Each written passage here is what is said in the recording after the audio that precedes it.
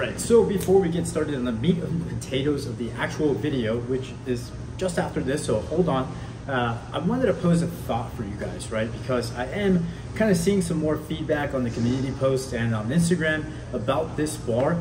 And I just wanted to say, when are we going to stop regarding the Ohio Power Bar as like the gold standard of power bars? Because Rep Fitness just dropped a bunch of power bars, brand new. They look freaking fantastic. And of course, Titan Fitness dropped the Moby Dick power bar that I'm reviewing today, or at least giving my first impressions on, and it sold out almost instantly. So again, I have to ask, you know, is the Ohio power bar really that good? And I think after you've watched this video and you know, more people start to talk about this power bar and the array of different power bars that have come out since at some point you have to ask, are we really just saying that the Ohio Power Bar is that good? Uh, because I use it with clients at a gym near nearby and I'm not impressed. I think the knurling could be sharper. It seems pretty expensive for what it is. And now that there's the Hansu Power Bar, which is IPF approved, uh, at like 237, be honest, which is the bar that you would buy? just a regular Ohio Power Bar that everybody else has? Or will you give something new its chance? And that's it. That's all I wanted to say. So now enjoy the rest of the video.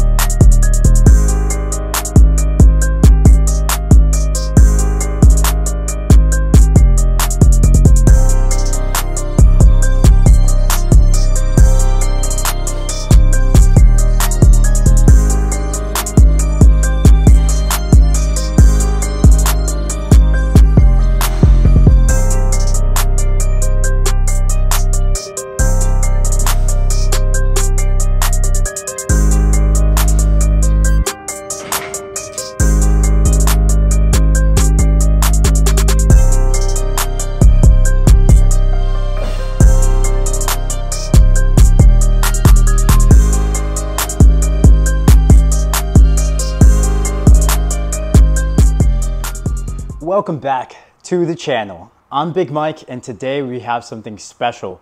We have the Moby Dick Power Bar from Titan Fitness. That's right, they finally came out with the Power Bar. And before I get into my first impressions, I just want to say, look, I get it. I know what you're going to say. I know what you're already thinking. And that is one, how can I give an honest review when I am so clearly biased? And two, Titan Fitness what? Who even buys power bars from them anymore? Well, I will say they sold out fairly quickly. And uh, to their regard, I know you guys may not like them, but the shipping was super duper fast. I ordered this when it came out, and it's here on the, what's today, the 7th of June. So actually, not bad. The packaging, uh, well, that's when you get a little bit closer to being what Titan Fitness is known for. There was what seemed to be after they handed it off to FedEx or UPS, the packaging broke a little bit and they had to tape it after. I don't think Titan Fitness would purposely send that that way, but if they did, then, you know, shame on you. Uh, that being said, it came in okay condition. And before we, you know, get off of the packaging, I just want to say, uh, you know, they went a little bit above and beyond. not anything to do with the bar, but they uh, went ahead and added some of that like ship rope uh, onto the packaging, which I thought was, you know, a fine detail. Not needed, but good on you for trying. And now we get to the actual power bar. So this is a 20 kilogram power bar with a 29 millimeter shaft. It has a glossy white Cerakote that's actually really nice on the knurling. I don't think it took away very much from that. And I will say that this, bar right here is probably the best knurling I have felt on the Titan Fitness bar. And I've had a chance to use most of their bars. And I'll say that this is pretty close to the bare naked uh, power bar from Bells of Steel. That being said, it doesn't have the prestige that Rogue Fitness has. Uh, so maybe you guys may not look at it as a viable option for a power bar, and we have to bring up the elephant in the room. Uh, it's not IPF approved, right? And you could get something for even cheaper than what this retailed at, 249. Uh, you could get the Hansu Power Bar, uh, which I think I got for 236, $237 shipped. But if you're looking for this particular coating with a gold titanium sleeve, this is it, man. This is really nice.